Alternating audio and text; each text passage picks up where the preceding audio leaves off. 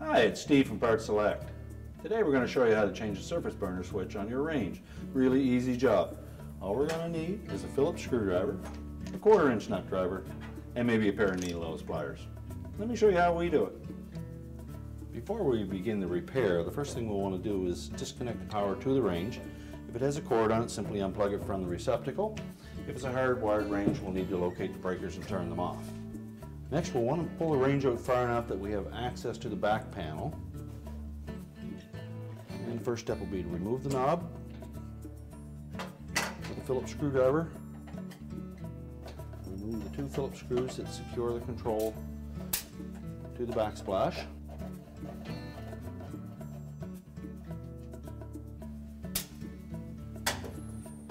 And then with a quarter inch nut driver, we'll remove six screws in the upper portion of the back panel, three along each side, and there's one remaining one on the top. Goes through a little mounting bracket.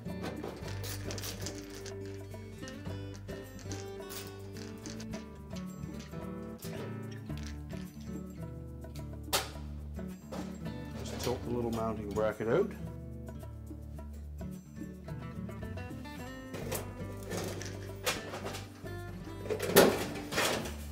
Now we have access to the control.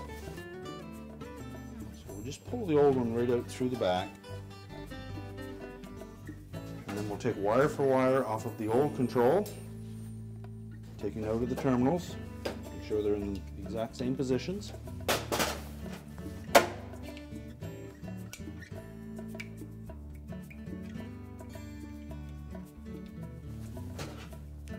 They're a little snug, we'll use our needle nose pliers to remove them and grab the terminal, not the wire.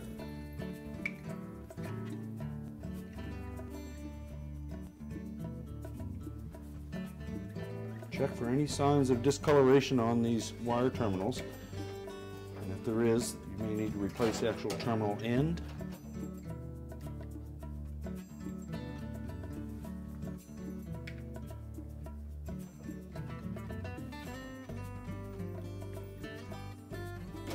Make sure all the terminals are tight. If you find any that are a little loose, you're needing those pliers, and just pinch them together a little bit. And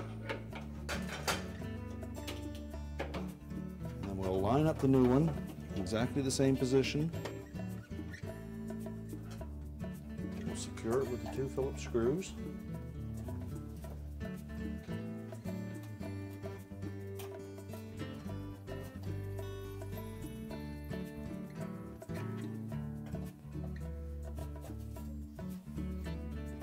Now we're ready to put the back panel back on. We'll start with the screw that goes through the mounting bracket on the top. We'll hold it in place.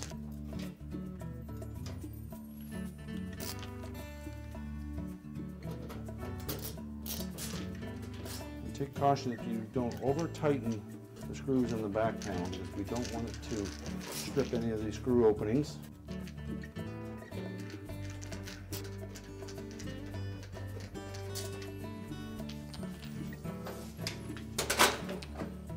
Replace the knob.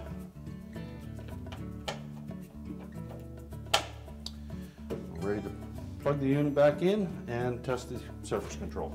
And our repair is complete. Told you it was an easy job. Thanks for watching and good luck with your repair.